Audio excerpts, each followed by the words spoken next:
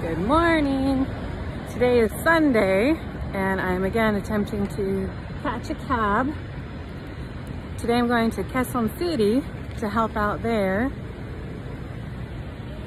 And Sunday is a little bit slower. You can see there's hardly any cars on the road.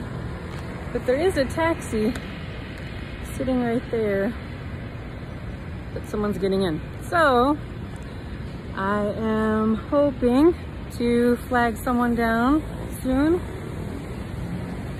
Um, and we may be in luck. Oh yes, I've got one, 42 seconds. All right, more tomorrow.